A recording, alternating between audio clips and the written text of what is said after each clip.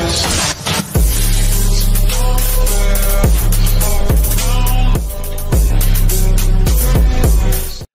guys, it's Hazib Afridi from Game Logics and this is part 32 of our tutorial series how to make Ludo game in Unity.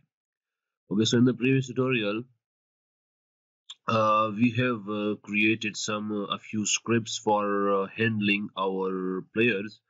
Okay, these scripts, okay, and uh, now uh, we need to use them okay? So let's go to our initialize dice method and let's uh, let's do let's use them okay? So after switch let's uh, let's use them. Now I need to check if our current player name if it contains oh, okay so it's a method that can be used with strings. Okay if it contains if it has a red player okay like this then so it's general. Okay red player can be one two three or four. So now we need to mention it specifically. Okay if it is if our of if our current player name if it's equal to okay if it's equal to uh, red player 1 okay then what do we need? Uh, we need to assign that uh, value to our current player from where? From our red player 1 script. Red player 1 column name. Okay so that's it we need to know where our red player 1 is currently on a particular time where our red player 1 is. Okay so it will have this current player this current player this string data member will have that particular spot like whether we are on the safe zone like we are on the stop or the star or we are in some uh, or we are uh, on a block which is not a safe zone okay? The blocks that are not the stars. So they are basically they come in the category of danger zone okay? So that can be spot 10 20 21 22 whatever okay? Whatever that might be okay? So we have different names for our movement blocks okay? So in this way we will know whether we can hit or strike our enemy player okay? So in the same way let's copy this and check for our red player 2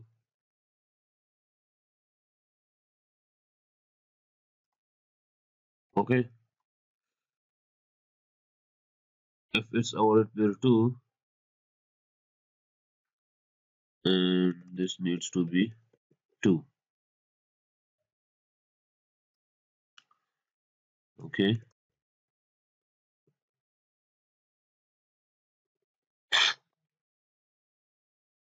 And similarly for red pair 3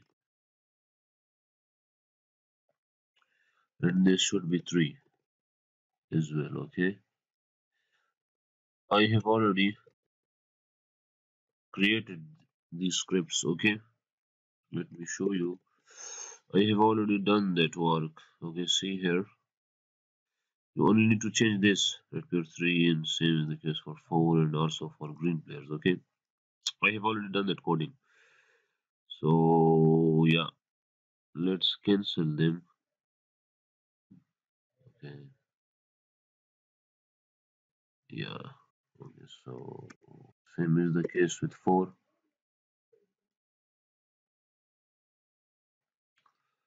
okay and uh, 4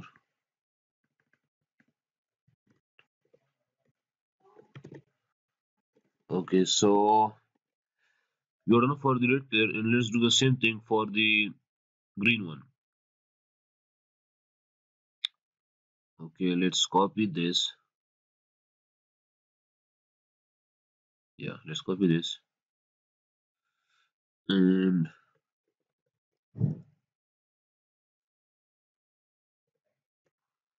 it right here.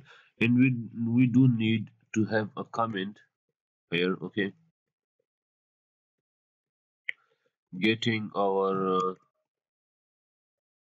uh, uh, current players value okay? So yeah it looks better this way. Okay. So let's change this for the green one. Not green. Green. Oh no. It should be a capital. Capital letter yeah. Let's copy this and paste it here here and here okay let's change this as well green